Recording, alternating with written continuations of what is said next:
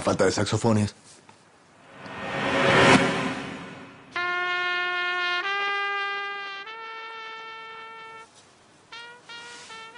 ¿Ves? Gastón, ¿estás bien?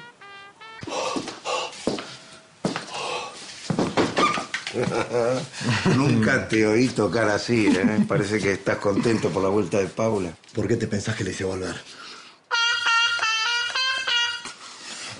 ¿Viste, viste, hijo, como la vida se te va encaminando? ¿Eh? ¿Sabes qué pasa? Que hay gente que resulta importante en la vida, pero hay otra que resulta imprescindible. Bueno, gracias. Vos también sos imprescindible para mí. Hablaba de Paula. Qué mujer noble, ¿no? Sí, y ella me va, me va a ayudar a salir adelante.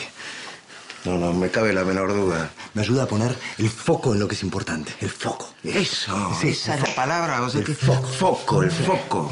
¿A dónde? Al trabajo.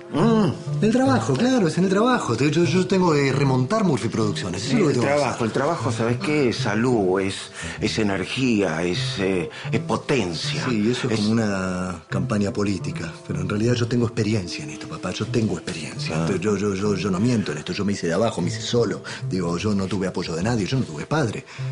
Ah, gracias por la parte. No, no, no, no, no, no, no, no, es que no te enojes. Lo que quiero decir es, vos no tuviste ninguna injerencia en mi vida profesional. Vos no me estabas atrás, no me estabas acompañando, no me estuviste aconsejando. Yo no tuve padre eso, quiero decir. No estabas, no te ofendas. No, me ofendo, me ofendo igual.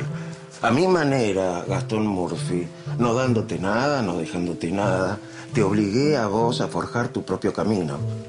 Eso lo tenés que aceptar, lo tenés que agradecer, creo, me parece. No sé, aunque sea por la negativa.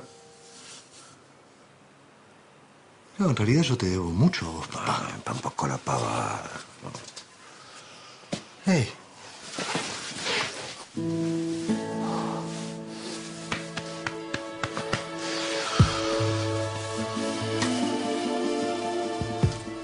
Gracias.